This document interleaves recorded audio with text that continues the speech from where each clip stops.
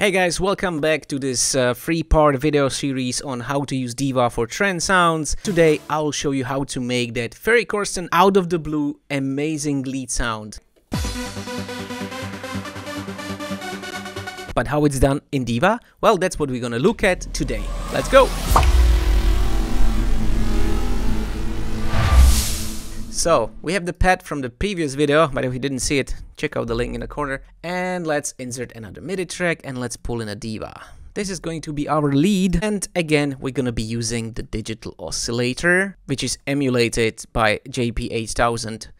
I believe it is. It sounds so similar. We're gonna start with setting the oscillator one as is in the multisaw. We're gonna raise it by one octave. Then we're gonna come to the second one, and we're gonna just keep it as is. We're gonna set the mix about halfway, a little bit more to the right, and we're gonna increase the multi-saw all the way right. This is gonna make sure that we have that classical beautiful sound.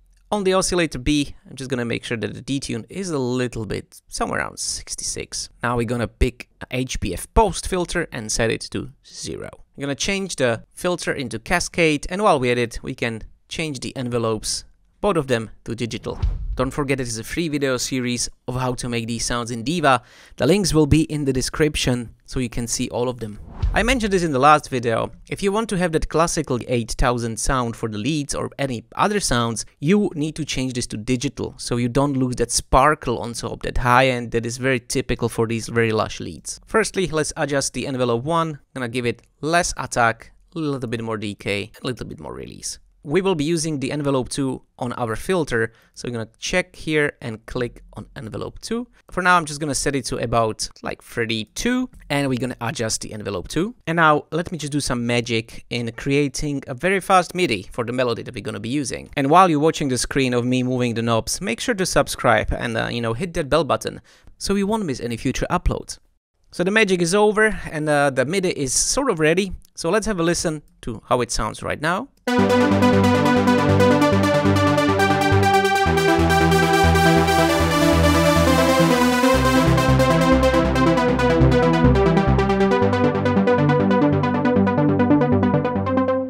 So I put the envelope a little bit more to the right. Let's add some resonance to it. About this much would be fine.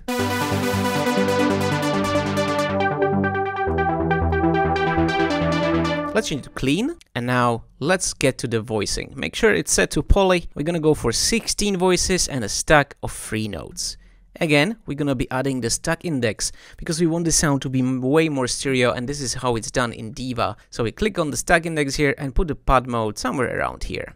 Now over here, we're gonna set this to delay because the delay is what's gonna make it much sound much, much fuller. So let's turn it on and let's set it up. We want a little bit more side volume, some high pass filtering over here. We can keep the voices on the sides and we can leave the delay as it is, decrease the VAW, increase the feedback, and now let's play it how it sounds.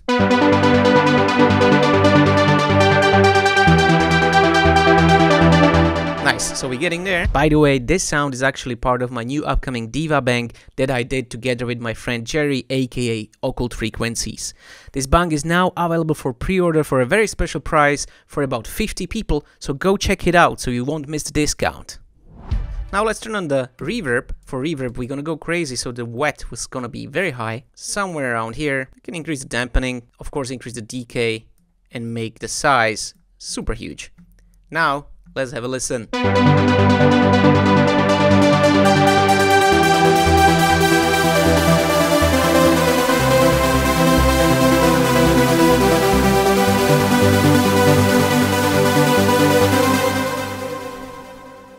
Alright, so now the lead is ready, we have the part from the previous video, and now let's have a quick play to see what we created today.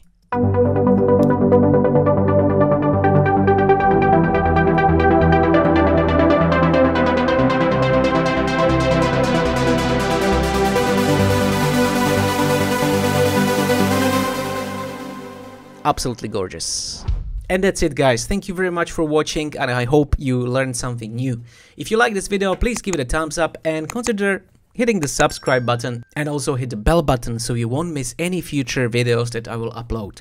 In the next one, we will look at how to make the 4 strings Take Me Away bassline that is so lush and I so adore it. And that's really it. Thank you for watching. Ciao.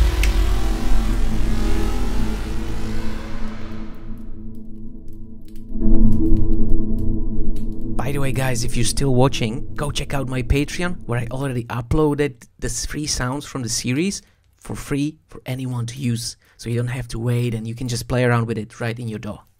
Thank you.